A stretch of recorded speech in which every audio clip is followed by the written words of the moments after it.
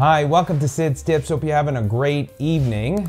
And today we're going to talk about the Evans Kate scam. That's right, a scam which I knew it was going to be a scam, but I thought I'm not doing a whole lot tonight. We'll just go with it and have a little fun, which you can, or in this case, a lot of people saying just block this Evans Kate scam. So on TikTok, I got a couple of messages hello, hello.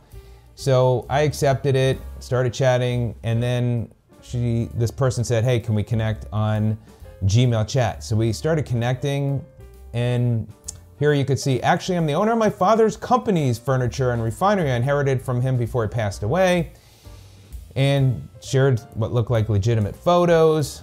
So as we go on, talking about how this person will give 2.5 million dollars to help people because of this inheritance and then showing examples of people that supposedly were helped.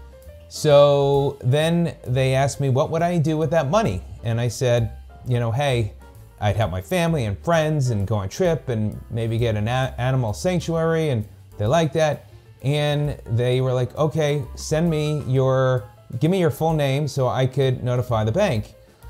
Uh, which is you could see here. So I can start the payment for you now, okay? Just send me your full name so that I can send it to my bank for approval.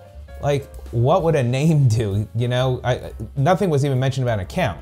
Please send me your name. Don't make any mistakes so that they bank don't approve the wrong person to get paid, okay? So clearly, this person's probably uh, doesn't speak very well when it comes to English and I didn't give my name, and so I basically had asked, "What? So how does it work? Just giving you my name?" And they said, "We need to send your full name to Chase Bank to approve it." Okay.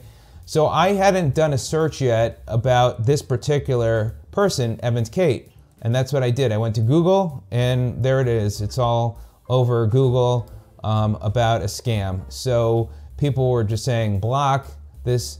Scam and stay away. So if you get this Evans Kate contacting you, just go ahead and block it. Or if you want to have a little fun with it, you can. And clearly, it stopped when I said, could we connect via video chat? So this was over 30 minutes ago. They haven't looked at it, or they may have seen it but don't, didn't want to click on the screen to, to, to see what they have. They're probably trying to scam other people too. So just wanted you to be aware of the scam if you do get hit by it and wanted just to share it so you don't get hurt in any way. So if you ever do something like this, if you have a, a, another Gmail account that you don't really care about, then you can connect in there, but you know, definitely be careful.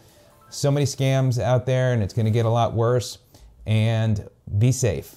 All right, have a great one. We'll see you on the next one. Take care.